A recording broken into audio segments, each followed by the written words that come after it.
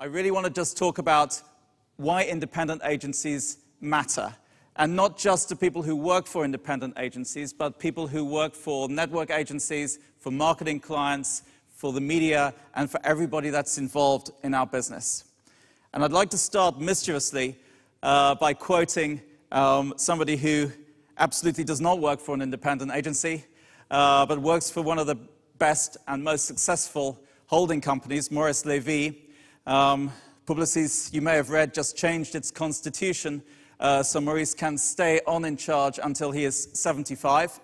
Um, so many years to go for Maurice. But this is what he was saying a couple of years ago, uh, quoted in campaign. He said, you know, there's bound to be an impact from the recession and the economic crisis on the number of entrepreneurs doing agency startups. In the 70s, everybody was doing it. In the 80s, not so many. In the 90s, even less. And since 2000, almost none, and there's no likelihood of that changing. Well, he's a great man, but he is really wrong on that one. Um, and we're going to prove that to you today with some absolutely fantastic examples of people who have started agencies relatively recently and build a big success. Um, we, the independents, uh, tend to be a little bit on the fringe. Quite interesting if you look at the way that the uh, Cannes Lions people have set the seminar program out. Uh, the middle chunk uh, is very much the holding companies, WPP, the IPGs, the Publicis, and the independents, the yellow people, are Sunday and uh, Friday night and Saturday. Um, so, okay, you know, we're a little bit left field. We look in a little bit at the big corporate guys, uh, but we do so with a perspective that hopefully is going to be interesting to everybody. And it's maybe just worth noting at this point, you know, none of us has an inside track on who's going to win awards at this festival, but last year, the independent agencies won more Grand Prix uh, than WPP, uh, Publicis, Havas, and Interpublic put together. So, in a way, the independents are the people where the new ideas are coming from. And it's not just us saying that. You know, if we look at what's happened in the past year, if you look at the US, uh, first time in living memory, the two agencies of the year, Creative Agency and Media Agency of the Year, are both independently owned, privately owned, owner managed agencies. Big ones, but still independent. Um, we're Elephant from Cairo. Um, obviously, Cairo's had a big year this year. Um, I'm, sure, I'm sure you've heard. A lot of things came out of um, um, the revolution, um, and I could go on talking about that, but I think uh, I'm here to talk about this, which is how to make clients uncomfortable and do good work. One is don't be afraid to have fun and try new things. I think this industry is becoming less and less fun as we go along. Um, I remember coming to Cannes in 2003, and just the spirit of the festival here was a lot funner back then. Uh, today, it's um, a lot of talk about digital and social media, and every seminar starts to sound the same. I'm not saying digital is uh, uh, wrong. Obviously, digital is the future, but digital is old.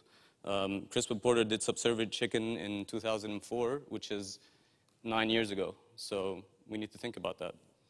Uh, I think the, the festival needs to move on to more fun things, and we need to see things happening on stage. Advertising is not rocket science, and again, that's something we tend to forget. Um, I looked this up. This is the um, list of um, jobs by importance on this website. And uh, advertising executive is somewhere between telephone repairer and waitress. so uh, I think that's something to keep in mind. I mean, the, the, the, people I meet in advertising that are doing great work are the people that take it uh, um, as a fun job and, and, and, don't take it seriously. Um, because again, very few consumers today are willing to believe that you can change their lives. And so as brands, I think we need to stop saying that and uh, need to talk down with them and not talk down to them um, because most consumers are smarter than your average client. That's a, that's a fact.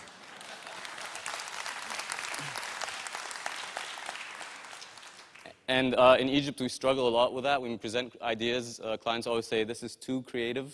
They won't get it. And uh, I think suddenly uh, this happened. And this uh, proved to the world that consumers are not stupid because consumers did this. And if they can do this, they can understand a stupid 30-second spot. Um, obviously, the bad thing that came out of the revolution is we stopped working, uh, no briefs for three months. And as an independent, you don't have salaries and you have to pay salaries. And that was tough. But I mean, what we learned from it is when you're not doing anything, try to go out and do something. And that's what we did. Uh, this is what happened uh, after the revolution. The number of Facebook users in Egypt quadrupled, or more than that, but that's all I know, quadrupled. It's like eight times, Oct-. Uh, so we, wa- we wanted to do something that, uh, and people started feeling really down after the revolution. The spirits were very low, and we wanted people to feel optimistic that things, you know, every, every revolution has a slump after it, and things will get better. So uh, Facebook made the revolution happen, and we wanted to do a tribute to the, re- to the Facebook and something positive. So we found the like button. We said, why don't we do something for the like button? And then we went to Coke, which is one of our biggest clients, and we sold them this idea. Can we have volume? كل معرفتنا الناس بتحبنا ولا لا كان هو الزرار اللعين ده فالزرار ده نفسه قيمته كبيره قوي اي انسان عاوز يدي شعور بوزيتيف بيستخدمه It was like an endorsement, a validation that you've done something right or you're, you're going in the right direction.